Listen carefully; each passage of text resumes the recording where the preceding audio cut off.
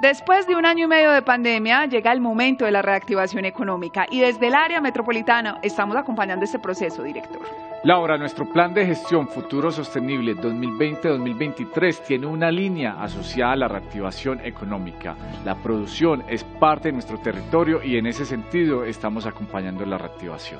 ¿Qué le parece, director, si hablamos de este acompañamiento en la reactivación económica este martes a las 8 y media de la noche en nuestro programa Área Sostenible? Porque en Telemedellín, aquí te ves. Área Metropolitana del Valle de Aburrá. Futuro sostenible.